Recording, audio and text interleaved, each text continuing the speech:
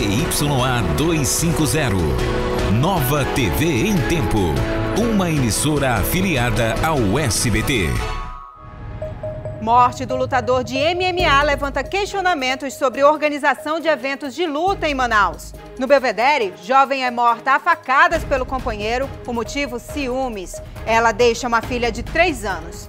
Trio suspeito de matar cinco pessoas da mesma família em Beruri é preso. Eles invadiram a residência para roubar 14 mil reais. E na orla do Rio Negro, área de mais de mil metros quadrados é contaminada com material asfáltico. O crime ambiental foi durante tentativa de assalto.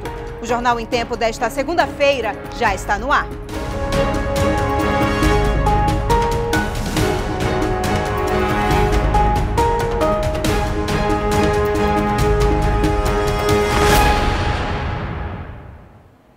Olá, boa noite.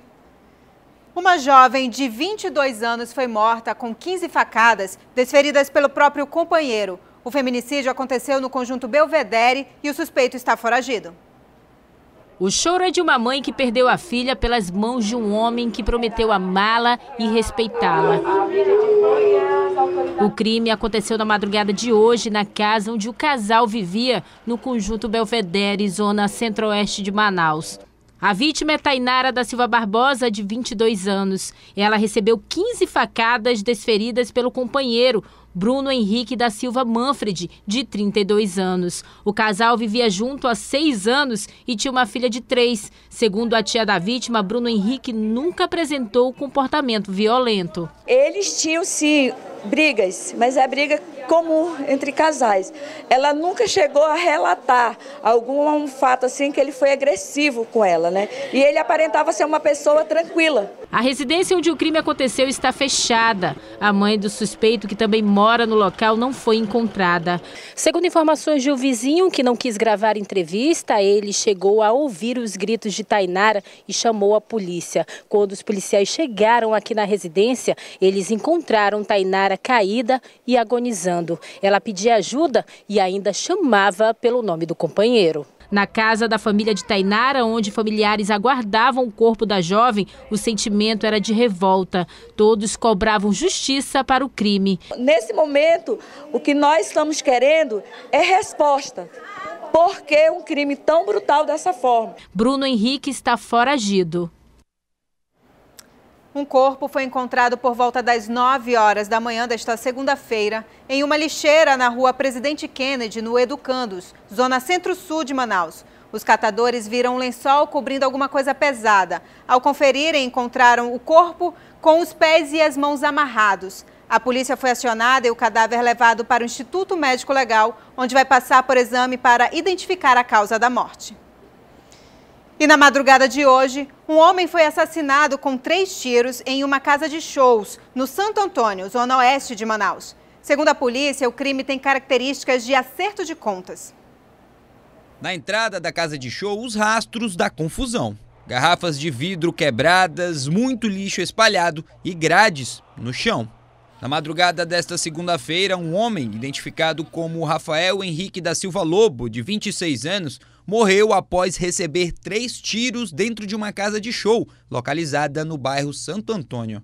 Policiais da 5 Companhia Interativa Comunitária informaram que no momento da festa, aproximadamente 3 mil pessoas estavam dentro do estabelecimento. Segundo informações de testemunhas, dois homens e uma mulher entraram pelo lado da casa de show e aproveitaram um momento oportuno, um momento onde estava acontecendo uma queima de fogos, para acabar disparando seis vezes contra a vítima. Desses seis tiros, três atingiram o Rafael, um na cabeça e dois nas costas. Rafael morreu na hora. A vítima seria um dos donos da festa. Até o momento, a identidade dos suspeitos não foi identificada. Ainda segundo a polícia, o crime tem características de acerto de contas. O caso deve ser investigado pela delegacia especializada em homicídio e sequestro.